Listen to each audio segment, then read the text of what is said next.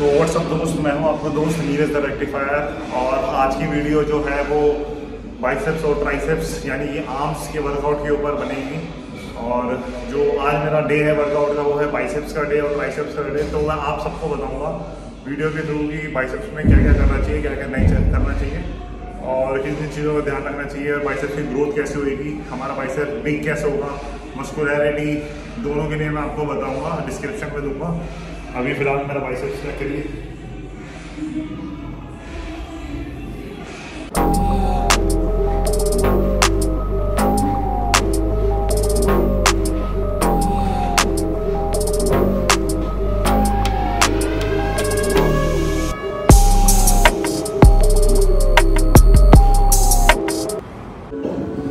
हमारी first exercise जो है वो कॉन्सेंट्रेशन से हम स्टार्ट करेंगे। और वेट अकॉर्डिंग टू बॉडी लेना है। कम से कम 12 रैप लेने हैं 10 से 12 रैप हैवी वेट आप हो सके तो हैवी वेट करना। और रेंज ऑफ़ मोशन स्लो रखना, पूरा मसल पे कंसंट्रेट करना। देखो आप कैसे पीक पे आ रहा है। ये बाइसेप्स की पीक के लिए होता है बेस्ट वर्कआउट है। स्टार्ट आप इससे कर सकते हो अपना वर्कआउट और फिर दूसरे हाथ से भी सेम 10 से 12 रैप करने हैं अकॉर्डिंग टू योर कैपेसिटी और मेरा तो फिफ्टीन के जी का नंबर है, बाकी आप देखना आपकी कैपेसिटी उस हिसाब से आपको उसके रैप्स लेने और फ्लेक्स करना है हर सेट के बाद आपको। ये हमारी फ़र्स्ट एक्सरसाइज सो गाइस ये हमारी सेकेंड एक्सरसाइज है और बहुत ही ज़्यादा इंपॉर्टेंट एक्सरसाइज है। इस एक्सरसाइज को मिस मत करना आप। ये है हमारा बारबल गर्ल जो कि रॉड से भी करते हैं। इसे रॉड को ही बारबल कहते हैं कंफ्यूज मत होना। इसमें वेट लगाना आपको अकॉर्डिंग टू योर कैपेसिटी और इसके 10 से 12 रैप लेने हैं। कोशिश करना मूवमेंट को कंट्रोल करने की। और जो रेंज होगी वो फास्ट मत करना स्लो करना और शोल्डर ज़्यादा मूव मत करना।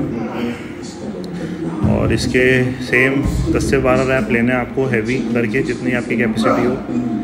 ये हमारे बाइसेप्स के लिए ऑल ओवर ग्रोथ करता है बाइसेप्स को बड़ा करता है। और अभी देखना आप मेरा बाइसेप तो ये एक्सरसाइज आपने ज़रूर ऐड करिए अपने वर्कआउट में। गाइस ये हमारी थर्ड नंबर एक एक्सरसाइज है, जो कि इंक्लाइन डंबल गर्ल है। ये चेस्ट वाले इंक्लाइन डंबल गर्ल नहीं है बाइसेप्स वाले इंक्लाइन डंबल है। ये बाइसेप्स के लॉन्ग हेड पे वर्क करता है, जो हमारे बाइसेप्स को एक प्रॉपर शेप देता है और मस्कुलरिटी देता है कटिंग देता है। देख रहे हो आप, इसमें मेरी वेंस भी नज़र आ रही है। अभी मेरे प्रैप का हार्डली थर्ड फोर्थ डे है। उसमें भी वेंस आने शुरू हो गई तो बहुत इफ़ेक्टिव एक्सरसाइज है आपके बाइस बाइसेप्स की प्रॉपर शेप के लिए। और ये शोल्डर की साइड से जो बाइसेप्स करता है, वहाँ से वर्क करता है तो इसको ज़रूर ऐड करिए अपने वर्कआउट में गाइस गाइस ये हमारी फोर्थ नंबर एक्सरसाइज है हाई पुली कर्ल ये हमारे बाइसेप्स की पीक के लिए और कटिंग के लिए होती है शेप के लिए. देख रहे हैं आप इसमें मेरा बाइसेप्स कैसे वर्क कर रहा है? तो आप इसको अपने वर्कआउट में ज़रूर ऐड करिए. ज़्यादातर लोगों को उसके बारे में पता नहीं होता. और इसमें रैप्स थोड़े ज़्यादा लेने हैं.